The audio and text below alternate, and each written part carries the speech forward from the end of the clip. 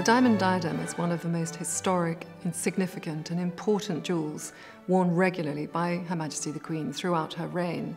This began for the portrait sittings at the time of the Queen's accession in 1952, given to Dorothy Wilding, followed by the journey to the Queen's coronation on the 2nd of June 1953, and subsequently Her Majesty has worn the diadem for portrait sittings and also for the state opening of Parliament in almost every year of her 70-year reign. The diamond diadem or regal circlet was created for King George IV for his coronation in 1821.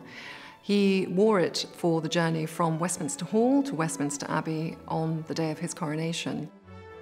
Following his reign and succession of William IV, the jewel became worn more regularly by Queen's consort, starting with Queen Adelaide, the consort of William IV, and then it was handed down through the generations until it arrived into the ownership of Her Majesty the Queen.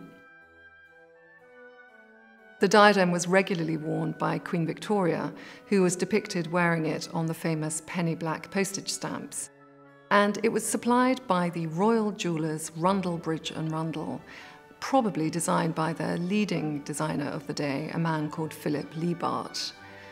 The diadem is constructed of silver and gold and also consists of 1,333 diamonds and 169 pearls. And in its form, the two bands of pearls enclose a band of brilliant cut diamonds with above four crosses pattée and four devices combining the patriotic emblems of Great Britain and Ireland.